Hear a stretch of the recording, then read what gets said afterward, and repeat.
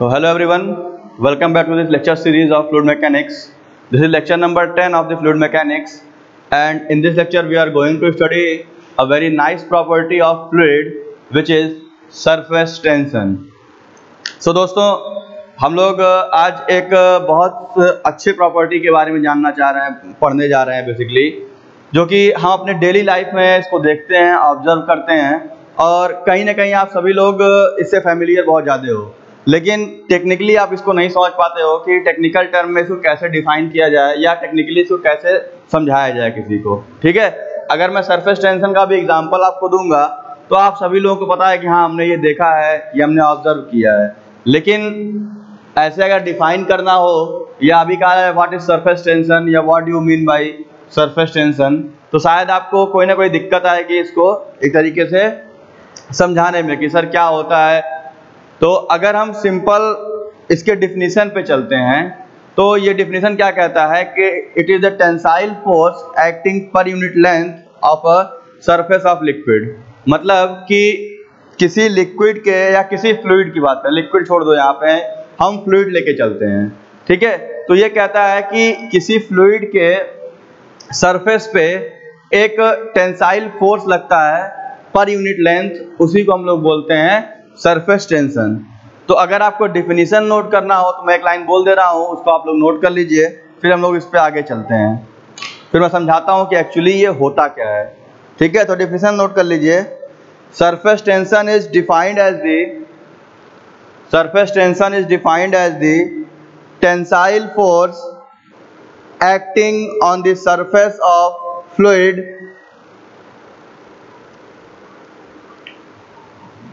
अगर मैं यहाँ पे लिखूं तो कह सकते हो tensile force acting on the surface of fluid bracket में liquid and gas tensile force acting on the surface of liquid bracket में ऑन द फ्लूड ब्रैकेट में liquid and gas in contact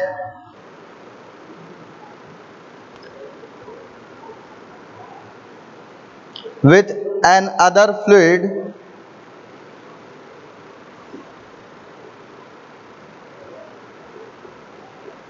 in contact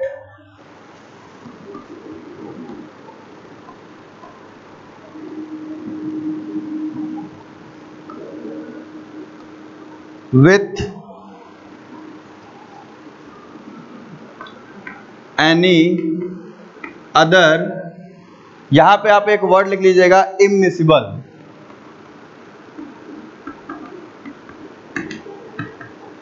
any other immiscible fluid देखो definition मैं फिर repeat कर रहा हूँ technically इसका डिफिनेशन क्या होगा?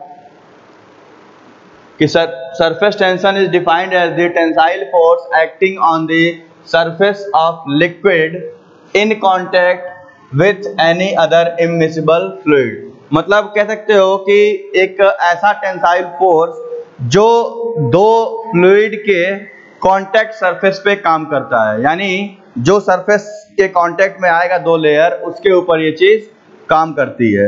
ठीक है? अगर अभी आपको डिफिनेशन समझ में नहीं आ रहा है तो अभी मैं इसको डायग्राम से भी एक्सप्लेन करूँगा। लेकिन अभी मैं समझाना चाह रहा हूँ कि इसको हम लोग कैसे समझ मतलब डिफिनेशन क्या होती है। तो हमने क्या लिखा कि tensile force acting on the surface अब अगर हम इसको समझने की कोशिश करते हैं कि ये टेंसाइल फोर्स किस दो इमिसिबल लिक्विड की बात कर रहा है। इमिसिबल का मतलब अघुलनशील मतलब जो आपस में एक दूसरे में घुल ना सके, जैसे वाटर और ऑयल ठीक है? वाटर ऑयल हो गया गैस और लिक्विड हो गया, ठीक है? तो यहाँ पे इसलिए मैंने लिखवा दिया है लिक्विड एंड गैस। यानी जब कोई दो अलग अलग फ्लूड जो इमिसिबल हो, अगर कहीं हम उनको रखेंगे तो किसी एक सरफेस का जहाँ वो खत्म हो रहा होगा, दूसरा सरफेस शुरू हो रहा होगा, उस सरफेस के ऊपर एक टेंसाइल फोर्स लगती है, जिसको हम सरफेस टेंशन कहते हैं। अब अगर इसको मैं प्रैक्टिकल लाइफ में आपको एग्जांपल देता हूँ। आप लोग डेली, आप लोग बाथरूम जाते हो, बाथरूम में आप लोग के पास बकेट होगी, बाल्टी होगा, उसमें आप लोग पानी रखे हो, ठीक है? बकेट में आपने पानी भर के रखा है। आप लोग आज ट्राई करिएगा कि एक बाल्टी है, उसमें पानी भरा हुआ है। आप उस पर बहुत आराम से अपने हाथ को उसके सरफेस पे रखिएगा, ठीक है? फिंगर डिप नहीं करना है, ऐसा रखना है कि हाथ उसके ऊपर रुकने की कोशिश करे। तो आपको एक करेक्ट कि ऑब्ज़र्व होगा कि लिक्विड के ऊपर, यानी जो सबसे ऊपरी सतह है पानी की, एक कुछ ऐसा फोर्स है जो आपके हाथ को नीचे डूबने से रोकता है। ठीक है? आप अगर ऐसे ऑब्ज़र्व नहीं कर पाते हो तो आप मग ले लेना, खाली मग, बाल्टी में पानी भर देना और मग को डिप करना। तो सभी लोगों को मग को डिप करने में प्रॉब्लम होती है। अनटिल एंड अनलेस कि उसके सरफेस का जो टेंसाइल बॉन्ड है वो ब्रेक न कर जाए। अब अगर हम मग को टिल्ट करके डिप करें, जैसे ग्लास ऑफ़ वाटर आपको निकालना होगा तो अगर हम पानी ऐसे गिलास डिप करके ऐसे निकालें तो आपको दिक्कत नहीं आएगी। लेकिन पानी गिलास को अगर हम वर्टिकल इंजर्ट करें पानी में तो आपको कुछ फोर्स लगाना पड़ता है इंजर्ट करने के लिए। आप फील करना बकेट है, पानी है, एक गिलास ऐसे वर्टिकल डिप करो उसमें तो प्रॉब्लम होगी आपको। कुछ एक्स्ट्रा फोर्स लगाना पड़ेगा डिप करने के लेकिन अगर हम गिलास को टिल्ट करके ऐसे लगाएँ तो उस समय सरफेस टेंशन जो होता है, वहाँ का ब्रेक कर जाता है, जिसकी वजह से वो आसानी से वहाँ पे एक तरीके से डिप कर जाता है। दूसरे एग्ज़ाम्पल के तौर पे सरफेस टेंशन में कह सकते हो कि जैसे कोई इंसेक्ट है, कोई कीड़े मकोड़े, आप देखते हो कोई तालाब है, या आपके घर के आसपास कोई पानी भरा होगा तो उस पर मक्खी, मच्छर और भी कीड़े मकोड़े उस पर चलते रहते हैं, ठीक है? या पेड़ की पत्तियाँ किसी तालाब में गिरती हैं तो तैरती रहती हैं। या आप जैसे चाय पीते हो, कोई मक्खी पड़ जाती है या कुछ पड़ जाता है तो उस पर फ्लोट करता रहता है, ठीक है? अनटिल एनलेस कि जब उस बर्तन या किसी कप या किसी तालाब के जो लिक्विड रखा गया है, उसका टेंसाइल फोर्स ब्रेक न कर जाए, ठीक है? यानी कहने का मतलब ये हुआ कि जब भी कोई लिक्विड या गैस किसी दूसरे लिक्विड या गैस के कांटेक्ट में आता है, जो उससे अघुलनशील है मतलब उससे वो मिल नहीं सकता है तो दोनों का जो कांटेक्ट सरफेस होगा, एक दूसरे के लिए एक टेंसाइल मेम्ब्रेन की तरह बिहेव करते हैं। अब आप कहोगे, सर, पानी के साथ क्या मिक्स हो रहा है कि टेंसाइल फोर्स बना है? तो जो बाल्टी में पानी रखे हो, उसके ऊपर ये एटमॉस्फेरिक प्रेशर लग रहा होगा। एयर होगा उसके ऊपर। भाई, बाल्टी के पानी के ऊपर तो एयर होगा ना। वैक्यूम तो आप क्रिएट नहीं किए हो। तो एयर कहीं ना कहीं रहेगा ही। तो एयर क्या करेगा? उस बाल्टी के पानी के सरफेस के ऊपर एयर भी इमिसिबल है, भाई पानी में हवा आप नहीं घोल सकते हो। तो अलग हो गया। तो बाल्टी में पानी है, उसके ऊपर एयर है। तो जो कॉन्टेक्ट सरफेस है दोनों का, जो एकदम दोनों से सतह मिल रही होगी, उस सरफेस पे एक टेंसाइल फोर्स एक्ट करता है, जिसको हम लोग बोलते हैं सरफेस टेंशन ठीक है? ये इसका एक प्राइमरी डिफिनीशन है। ठीक है? अभी मैं इसको समझा लेता हूँ, फिर इसकी एक डिफिनीशन और बनती है वहाँ मैं उसको और अच्छे से एक्सप्लेन करता हूँ। तो पहले ये जो मैं लिखा हूँ, इसको समझाता हूँ आप लोगों को। तो हम लोग क्या करते हैं, सिंपल, एक कंटेनर ले लेते हैं, इस तरीके से।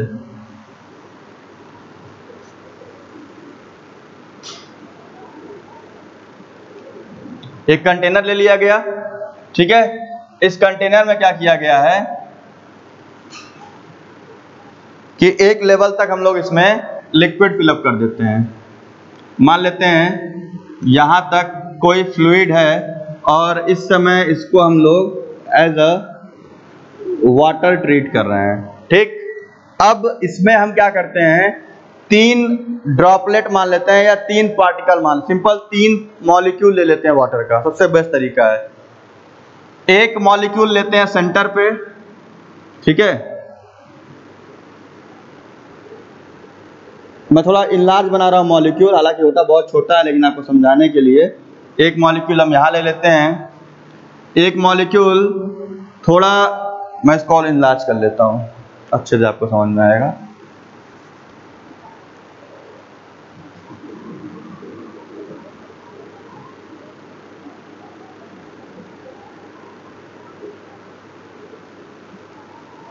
एक यही मॉलिक्यूल सरफेस के नज़दीक है थोड़ा सा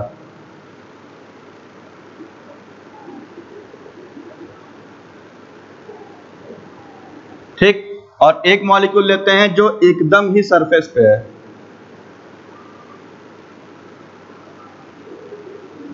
ठीक है? तीन मॉलिक्यूल हो गए। पहला आपका ये एक मॉलिक्यूल ये ए मॉलिक्यूल है, ये बी मॉलिक्यूल है, ये आपका सी मॉलिक्यूल है। तीन मॉलिक्यूल हमने वाटर के ले लिए ए बी और सी ठीक है? अब ये मॉलिक्यूल क्या है कि सब सराउंडेड बाई वाटर है। ये सब के सब पानी से सारे मॉलिक्यूल्स ये पूरा पानी है।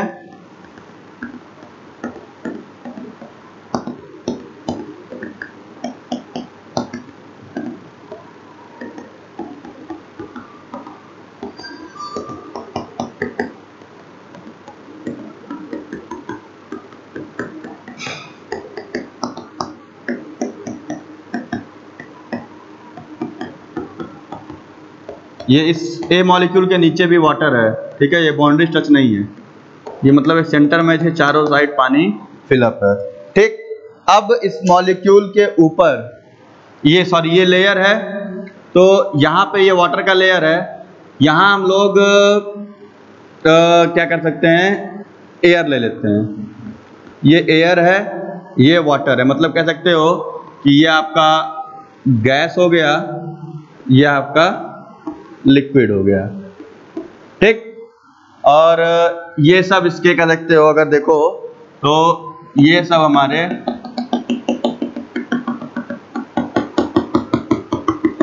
एयर के मॉलिक्यूल्स हैं। आई थिंक अगर आपको नहीं डॉट मैं डॉट डॉट इस पर कर रहा हूँ, बस ये ऐसे ये आपके एयर के मॉलिक्यूल्स आपको दिखाई दें। ठीक है? अब इसके कॉन्सेप्ट को समझते हैं, जो मैं समझाना चाह रहा हूँ आप लोगों को। देखिए, यहाँ पे ए मॉलिक्यूल की बात करते हैं तो ये ए मॉलिक्यूल चारों साइड से सेम मॉलिक्यूल से घिरा हुआ है। ये पानी का एक मॉलिक्यूल है, जो चारों साइड से सेम मॉलिक्यूल से घिरा हुआ है। ठीक? तो अब ऐसा एज्यूम करो कि अगर इसको एक राइट हैंड साइड मॉलिक्यूल खींच रहा होगा, क्योंकि तो बॉन्डिंग होगी आपस में तो इसको लेफ़्ट हैंड साइड वाला मॉलिक्यूल भी इसको इधर खींच रहा होगा। होगा? इसके ऊपर भी पानी है तो ये इसको ऊपर खींच रहा होगा, ये इसको नीचे खींच रहा होगा। ये इसको इधर खींच रहा होगा, ये वाला मॉलिक्यूल तो ये वाला मॉलिक्यूल इधर खींच रहा होगा। ऐसे ही जो इसको इधर नीचे खींच रहा होगा, वैसे ही इसको ये भी नीचे खींच रहा होगा। मतलब ये मॉलिक्यूल चारों साइड से सराउंडेड बाई वाटर है तो अगर इसका नेट रिजल्टेंट निकाला जाए, ठीक है? अगर मैं लिखूं यहाँ पे summation of forces at molecule a क्या हो जाएगा? दिस इज़ ज़ीरो जितना ऊपर लग रहा है, उतना नीचे लग रहा है, जितना दाएँ लग रहा है, उतना बाएँ लग रहा है। ठीक है? तो यहाँ पे क्या होगा कि नेट रिजल्टेंट इस फोर्स पे ज़ीरो आएगा। ऐसे समझो कि आपको एक आदमी आगे खींच रहा है वही आदमी आपको पीछे भी खींच रहा है, वही आदमी आपको दाएँ खींच रहा है, वही आदमी आपको बाएँ साइड भी खींच रहा है। तो उससे होगा क्या? आप कहीं जाओगे एकदम स्थिर रहोगे ऐसे, भाई कहीं नहीं जाना है हमको। चारों ओर से बराबर फोर्स लग रहा है तो आप इक्विलिब्रियम में आ गए एक तरीके से। तो समेशन है बराबर ज़ीरो हो गया। तो इस मॉलिक्यूल पे लगने वाला फोर्स सेम मॉलिक्यूल के थ्रू लग रहा है तो ये यहाँ पे ज़ीरो हो गया। अब यही चीज़ आते हैं बी मॉलिक्यूल पे, यहाँ कहीं। ठीक है? तो बी वाले मॉलिक्यूल पे क्या होगा? नीचे वाला इसको इधर खींच रहा है। राइट हैंड साइड वाला इसको इधर खींच रहा है। लेफ़्ट हैंड साइड वाला इसको इधर खींच रहा है ऐसे ठीक है? तो अब इस पर क्या हो रहा होगा? अगर इसको और फोर्सेस से बढ़ा देते हैं तो आप बताओ, इसको ये जो तीन फोर्सेस नीचे दिख रहे हैं, ऊपर एयर है। ये एयर है, ये वाटर है। ठीक है? तो एयर और वाटर क्या है? इमिसिबल है, यानी अघुलनशील है, हवा पानी का मेल हो नहीं सकता है। तो एयर का मॉलिक्यूल इस पानी के मॉलिक्यूल से कोई बॉन्डिंग नहीं बनाएगा। तो जहाँ जहाँ पे एयर के कांटेक्ट में लिक्विड आ रहा होगा वहाँ वहाँ ऐसा कोई मॉलिक्यूल नहीं होगा जो इसको ऊपर खींच रहा हो। ठीक है? मतलब वहाँ पे ऐसा कोई मॉलिक्यूल नहीं होगा जो इसको ऊपर खींच रहा हो। तो अब आप देखो क्या हो रहा होगा। तो जो ये नेट रिजल्टेंट इस पे क्या आएगा? भाई, अब आपको छह लोग खींच रहे हैं, छह में से पाँच नीचे खींच रहे हैं और छठवां छोड़ दिया आपको। जैसे आप समझो कि फॉरवर्ड बैकवर्ड आगे, पीछे left right up and down ठीक है? तो छह डायरेक्शन हो गई आपके पास, चार और दो, छह। अब उसमें ये समझो कि कोई एक आपको छोड़ दिया। तो जिसने छोड़ा होगा जिस साइड से तो आप उधर की ओर से उसके अपोजिट शिफ्ट हो जाओगे। जैसे अगर मैं इस चौक को ऐसे खींच रहा हूँ दोनों साइड से, ये हाथ छूट गया तो चौक किधर गया? इधर गया, ठीक है? तो सेम ऐसे ही इस मॉलिक्यूल को ऊपर से खींचने के लिए कोई मॉलिक्यूल है ही नहीं। क्योंकि अगर यहाँ वाटर होता तो वाटर तुरंत बॉन्ड बनाता और वो बॉन्डिंग उसको पकड़े रहती। एयर इससे बॉन्डिंग करेगा नहीं तो ये मॉलिक्यूल सेपरेट हो गया एयर से, ठीक है? तो अब अगर यहाँ पे ऐसे लिखें summation of forces at molecule B तो ये कितना होगा? ये होगा डाउनवर्ड डायरेक्शन। आएगा? डाउनवर्ड डायरेक्शन, यानी नीचे की ओर। ठीक? एक कंक्लूजन ये निकल के आया। सेम ऐसे ही सी वाले पे लेते हैं, जो एकदम सेंटर पे है। ठीक है, मैंने बताया था। ए बीचों बीच में है पानी के। बी एयर वाटर के इंटरफेस के किनारे पे है। और सी एकदम ही एयर वाटर के इंटरफेस पे है। ठीक? तो यहाँ से इसका सेंट्रॉइड हो गया ये। अब इस पे एक फोर्स नीचे लग रहा है ऐसे। दूसरा इधर लग रहा है। तीसरा इधर लग रहा है। ऐसे ही इस पे एक यहाँ लग रहा है, एक इस पे यहाँ लग रहा है। ऊपर की ओर बैलेंस करने के लिए कोई फोर्स नहीं है मॉलिक्यूल सी पे। और मॉलिक्यूल सी कहाँ पे अगर मैं इसको यहाँ लिखता हूँ C is at the interface of water and air I E मतलब कि ये आपका एट कांटेक्ट सरफेस पे है। ये आपका कांटेक्ट सरफेस पे है। ठीक है? तो यहाँ पे नेट समेशन ऑफ़ फोर्सेस क्या आएगा? Summation of forces at molecule C ये क्या होगा? ये भी आपका डाउनवर्ड होगा, यानी इस पे भी नीचे की ओर फोर्सेस लग रहे होंगे, क्योंकि ऊपर कोई बैलेंस करने के लिए फोर्स नहीं होगा। तो अब ऐसे एज्यूम करो कि जैसे ये मॉलिक्यूल सी है, वैसे इस पे हज़ारों मॉलिक्यूल्स होंगे छोटे छोटे यहाँ से यहाँ तक। ठीक है? तो कंक्लूजन क्या निकल के आता है कि जब दो इमिसिबल फ्लूइड आपस में रखे जाते हैं तो उनके कांटेक्ट सरफेस पे जो मॉलिक्यूल होता है, वो दूसरे लिक्विड या दूसरे गैस से बॉन्डिंग नहीं कर पाता है, जिसकी वजह से इन सब के ऊपर डाउनवर्ड अट्रैक्शन फोर्स लगता है। एक डाउनवर्ड पुल लगता है। मतलब कि सब के सब क्या किए उसको नीचे खींचे हुए हैं। जैसे आपके घर में अंगनी होगी, जिसमें आप कपड़ा फैलाते हो उस पर क्या होता है? जैसे कपड़ा आप डालते हो अनगनी के ऊपर तो वो नीचे टेंशन में आ जाता है, ठीक है? एक रस्सी बाँध दो इस दीवार से, उस दीवार तक, और सब लोग पड़े उसको लटक जाओ ऐसे। तो क्या होगा? पूरा का पूरा रस्सी एक टेंसाइल जोन में आ जाएगा। आएगा? तो सेम ऐसे ही इस कॉन्टेक्ट सरफेस के ऊपर जितने भी मॉलिक्यूल रखे गए हैं इन सबके ऊपर आपका एक तरीके से टेंसाइल फोर्स ऑफ़ एक्शन काम करता है, जो हमेशा डाउनवर्ड रहता है। तो यानी सारे मॉलिक्यूल के ऊपर डाउनवर्ड अट्रैक्शन फोर्स लगता है। तो यहाँ लिख सकते हैं हम लोग यहाँ पे कि all the molecules at the interface will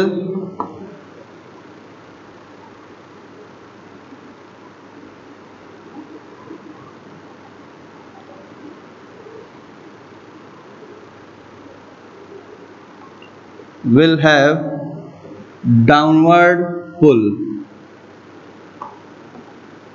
Downward pull. इसका मतलब क्या हुआ? इसका मतलब ये हुआ कि सारे सरफेस मॉलिक्यूल के ऊपर एक तरीके का पुल लग रहा है, जिससे मतलब क्या हो जाएगा कि जो भी सरफेस मॉलिक्यूल्स होंगे, यहाँ पे आप लिख सकते हो so that all surface molecules will behave like a thin film, एक पतली सी परत या एक झिल्ली मेम्ब्रेन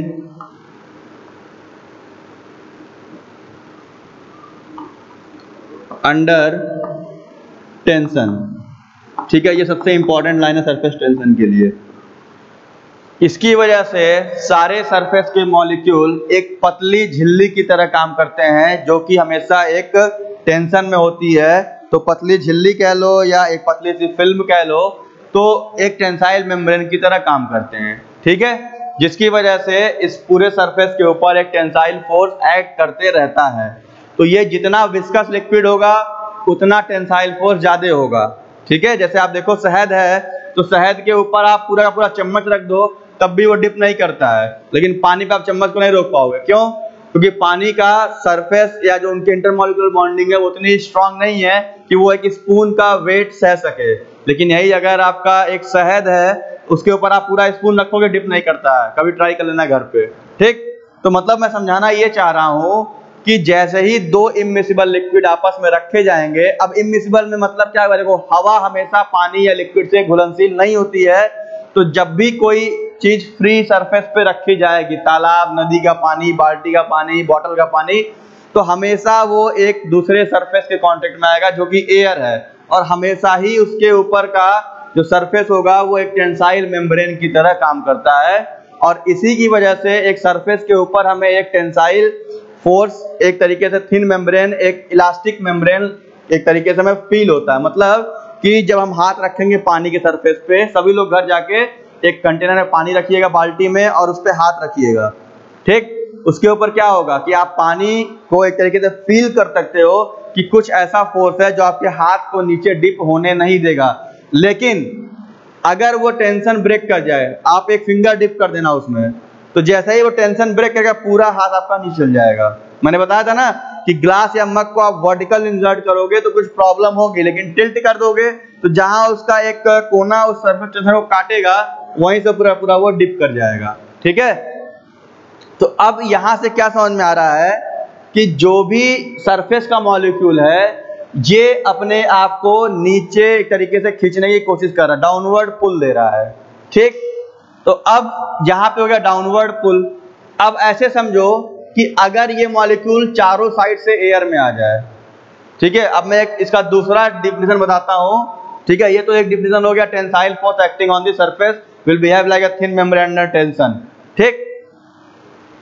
अब दूसरे डिफिनेशन पे आते हैं। अगर सपोज़ करो कि कोई एक मॉलिक्यूल है, पानी का जो एयर से सराउंडेड है, जैसे ऐसे मानो कि ये आपका एक मॉलिक्यूल है ऐसे, ठीक है?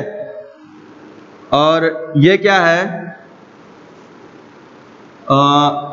मान लेते हैं कोई एक मॉलिक्यूल सी डी मान लेते हैं। ये मॉलिक्यूल डी है, ठीक? और ये वाटर का मॉलिक्यूल है, लेकिन ये चारों साइड से ऐसे कह सकते हो।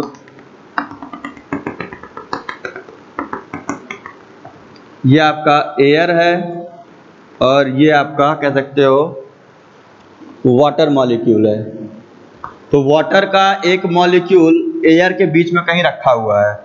जस्ट लाइक अ बैलून समझो कि एक बैलून है, वो चारों साइड से एयर से घिरा हुआ है, ऐसे समझो। तो पानी का एक मॉलिक्यूल चारों साइड से एयर में घिरा हुआ है, ठीक है? अब सोचो कि इस पानी के एक मॉलिक्यूल के अंदर भी सारे पार्टिकल्स होंगे छोटे छोटे होंगे, ठीक है? तो ऐसे समझो कि इस पूरे एक, मान लो ये एक पानी का ड्रॉप समझो इसके अंदर भी क्या सारे पार्ट्स होंगे छोटे छोटे हमारे। ठीक है? तो वो क्या कर रहे होंगे? भाई, ये सब का सब एयर है तो सबसे तो ये बॉन्डिंग होगा नहीं, ये बॉन्डिंग किससे कर रहा होगा? आपस के मॉलिक्यूल से। तो अब देखो इसमें क्या हो रहा होगा यहाँ पे, कि जो यहाँ पे इसका एक तरीके से आप कह सकते हो कि जितने भी मॉलिक्यूल्स यहाँ पे हैं, ये सारे के सारे, ये मॉलिक्यूल सरफेस का होगा, इसको नीचे सेंटर में पुल मिल रहा होगा ऐसे। ये वाले को इधर मिल रहा होगा, इस वाले को इधर मिल रहा होगा, इस वाले को इधर मिल रहा होगा, इस वाले को इधर मिल रहा होगा, ऐसे। ये इसकी दूसरी डिफिनेशन है। जस्ट ऐसे समझो कि एक कोई मॉलिक्यूल आप हो, आपके चारों साइड से आपको नीचे खींचा जाए। एक ऐसे रस्सी ले लो और उसके चारों पेरीमीटर से उसको अंदर खींचो। तो एक सर्किल बन जाएगा, एक लंबी सी रस्सी है उसको समान फोर्स से आप सेंटर में खींचो तो गोल बन जाएगा नहीं बन जाएगा? भाई, उस कोने को लाया, ऐसे इसको इधर लाया, इसको इधर खींचे तो एक सर्किल बन जाता है। बनता है?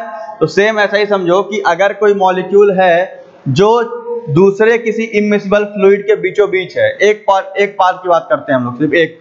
जैसे एक बैलून समझो तो जस्ट बैलून बैलून के चारों साइड एयर होती है, ठीक है? तो अब बैलून के अंदर जितने पार्टिकल होंगे, वो आपस में बॉन्डिंग लगाए होंगे, ठीक है? तो बैलून मान लो पानी भर दिया गया। तो ऐसे समझो कि पानी का एक बैलून है, चारों साइड से एयर से घिरा हुआ है। तो वो पानी का मॉलिक्यूल क्या कर रहा होगा कि बाहर एयर से तो बॉन्डिंग करेगा नहीं तो जितने सरफेस वाले मॉलिक्यूल्स होंगे, सब अपने अंदर वाले से जुड़े होंगे। और सब क्या कर रहे होंगे? सबको अपने अंदर खींच रहे होंगे और तेज़ी से। ठीक है? जैसे आप वही बताया ना मैंने कि एक रस्सी है, उसको चारों साइड से अंदर खींचो तो एक सर्किल बन जाएगा। ठीक है भाई, रस्सी फैलाई हो चारों अंदर खींचो। तो सेम ऐसे ही जब हम किसी लिक्विड या किसी ऐसे फ्लूड को किसी दूसरे इमिसिबल फ्लूइड के कांटेक्ट में लाते हैं तो वो चारों साइड से अपने आप को समेटने की कोशिश करता है। क्योंकि चारों साइड से उसको दूसरी कोई बॉन्डिंग मिलेगी नहीं तो उसकी वजह से वो आपस के बॉन्डिंग की वजह से सबको अंदर की ओर खींचेगा। क्योंकि देखो, ये आधा मॉलिक्यूल सरफेस पे था तो आधा डाउनवर्ड फोर्स लगता है। अब सोचो कि अगर ये पूरा मॉलिक्यूल फ्री एयर में आ गया तो पूरे के ऊपर क्या लग रहा होगा? एक इंटर मॉलिकुलर अट्रैक्शन लग रहा होगा जो चारों साइड से उसको अंदर खींच रहा होगा। जिसकी वजह से क्या करेगा?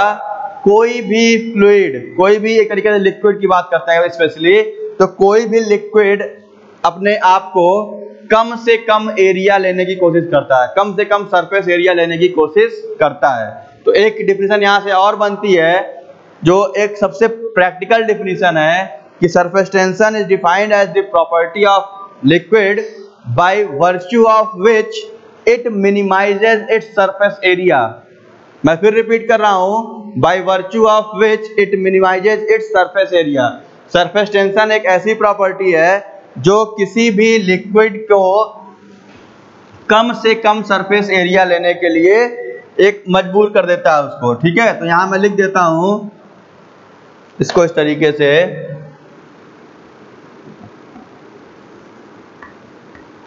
surface tension is that property of liquid by virtue of which it minimizes its surface area ठीक है? अब इसको प्रैक्टिकल लाइफ में कैसे देखोगे? कभी आपने सोचा है कि पानी की बूंद, यानी ड्रॉपलेट ऑफ़ वाटर हमेशा एक स्पेरिकल शेप में क्यों होता है? कभी सोचे हो कि पानी की बूंद क्यूबाइड क्यों नहीं होता है? कभी सोचे हो पानी का बूंद किसी और कोई शेप में क्यों नहीं होता है? ठीक है? हमेशा वो एक ड्रॉप के मतलब ड्रॉप इन द सेंस वो एक स्पेरिकल शेप में ही क्यों होता है? क्योंकि अगर आप लोग ज्योमेट्री थोड़ा पढ़े होंगे तो आपने ये पढ़ा होगा कि sphere requires a minimum surface area यहाँ मतलब ये है कि जैसे आपको सबसे कम एरिया कैसे में मिलेगा? वैसे मैं बनाता हूँ। एक ट्रैंगल एक रेक्टेंगल ठीक है? और एक आपका स्फेयर ऐसे बनाता हूँ। तो देखो, सबसे कम सरफेस एरिया कौन लेगा? इसको इतना एरिया चाहिए रुकने के लिए, इसको इतना चाहिए रुकने के लिए, इसको कितना चाहिए? इतना एरिया क्रिकेट की बॉल देखे हो? क्रिकेट या कोई भी बॉल वॉलीबॉल बास्केटबॉल फुटबॉल उसको आपको कहीं रोकना होगा तो देखते हो कितने कम एरिया में रुकता है। लेकिन उतने वॉल्यूम का एक क्यूब ले लो अगर तो वो पूरा एरिया लेगा। जितना क्यूब का सरफेस एरिया होगा, उतने पे रुकेगा। लेकिन एक फुटबॉल इतनी बड़ी फुटबॉल होगी, आप एक फिंगर पर रोक लेते हो उसको, या एक छोटे से कॉन्टेक्ट सरफेस पर रोक लेते हो। क्यों? क्योंकि स्फेयर की एक प्रॉपर्टी होती है कि having the minimum surface area और सरफेस टेंशन क्या करता है? किसी भी लिक्विड को एक तरीके से वो फोर्स करता है, क्योंकि सरफेस टेंशन का मतलब है कि टेंसाइल फोर्स जो सरफेस पे लग रहा है तो वो टेंसाइल फोर्स सबको नीचे खींचता है, जिसकी वजह से किसी भी लिक्विड का मॉलिक्यूल जब दूसरे किसी फ्लूइड के कांटेक्ट में जाता है तो वो अपने आप को चारों साइड से मिनिमाइज करने की कोशिश करता है। अगर चारों साइड सिकोड़ेगा अपने आप को तो वो एक कह सकते हो कि एक ड्रॉपलेट या एक स्पेयर के फॉर्म में वो जनरेट हो जाता है, ठीक है? इसीलिए जब भी आप पानी कहीं देखते हो, जब बारिश होती है या आप कहीं पानी छिड़कते हो तो वो एक पानी की बूंद बनती है जो कि एक स्पेरिकल फॉर्म में होती है। कभी आप ये देखे होगे कि पानी का एक ट्रायंगल नीचे गिर रहा है, पानी का एक स्क्वायर नीचे गिर रहा है, कभी नहीं गिरता है। वो हमेशा एक ड्रॉपलेट जो होता है, वो एक स्पेरिकल फॉर्म में होता है। क्यों? क्योंकि ड्रॉपलेट सबसे कम सरफेस एरिया लेता है।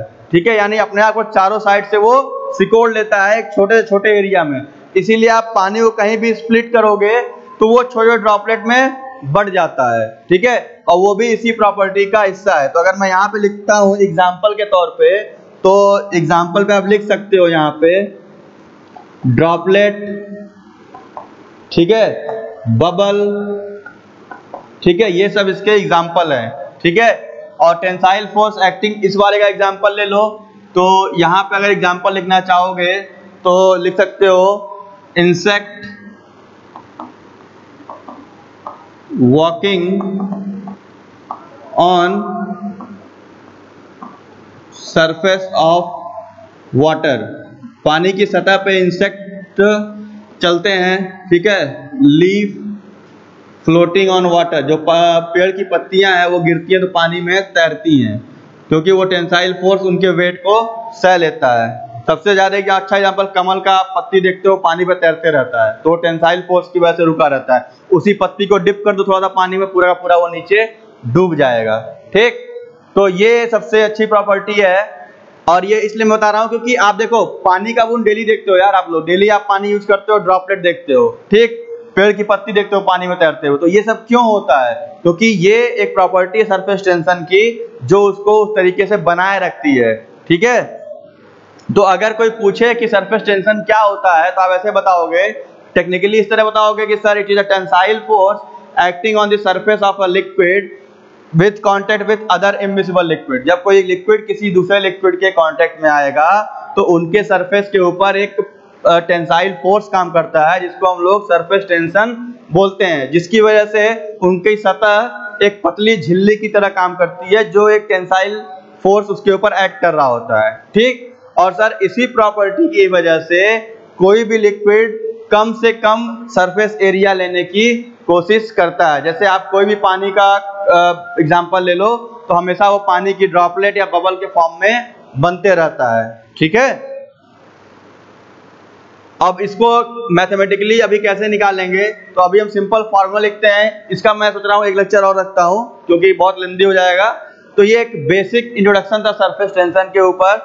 इसको मैं और आगे कंटिन्यू करूँगा इसके फॉर्मूलेज के ऊपर। अभी सिंपल अगर आपको जानना हो तो यहाँ क्या लिखा है? Tensile force acting on the surface तो इसको डिफाइन करते हैं हम लोग सरफेस टेंशन को। हम लोग सरफेस टेंशन को डिनोट करते हैं सिग्मा से।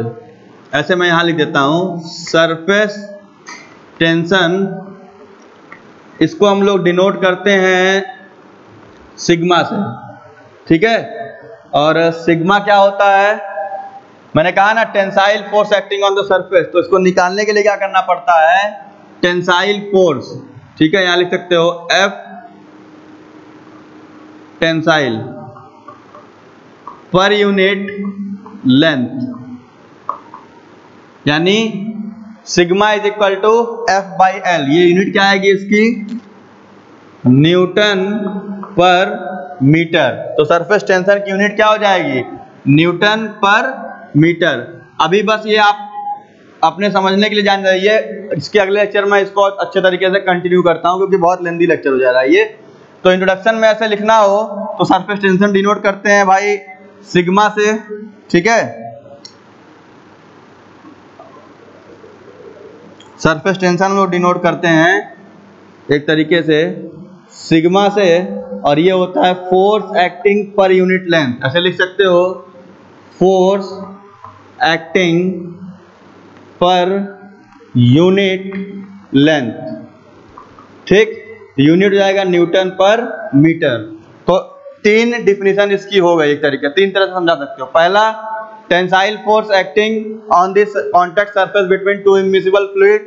दूसरा, a property by virtue of which any liquid minimizes its surface area. ठीक है?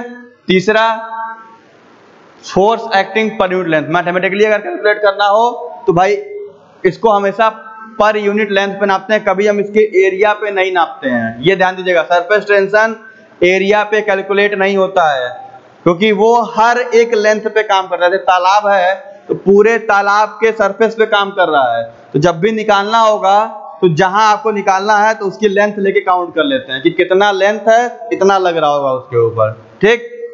वैसे ही जैसे ड्रॉपलेट है तो ड्रॉपलेट का लेंथ क्या है? ड्रॉपलेट भाई, पानी की बूंद है तो पानी के बूंद के चारों तरफ़ हवा है।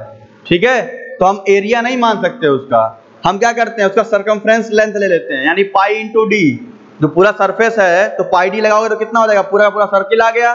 तो सर्किल के पूरे बाउंड्री पे सरफेस टेंशन लगता है, इसलिए पानी की बूंद स्फेरिकल फॉर्म में होती है। तो वहाँ से हम उसको कैलकुलेट कर लेते हैं पाई इंटू डी से। तो इसीलिए हम लोग जब भी सरफेस टेंशन निकालेंगे तो force acting per unit length से निकालेंगे, यानी न्यूटन पर मीटर के हिसाब से ये काउंट होता है। सिग्मा से इसको हम लोग डिनोट करते हैं, ठीक?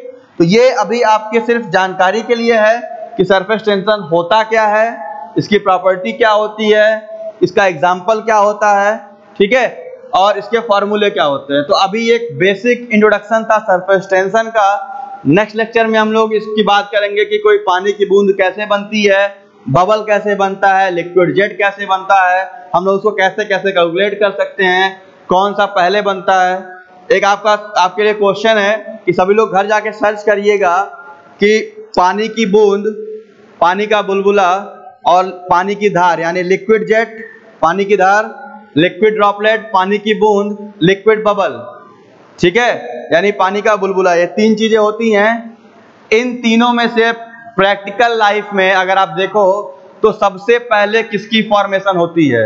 यह आपके लिए होमवर्क रहेगा आज का, कि भाई पानी की बूंद, पानी का जो बबल और एक पानी का जेट ठीक है? इन तीनों चीज़ों में से सबसे जल्दी कौन सा बनता है?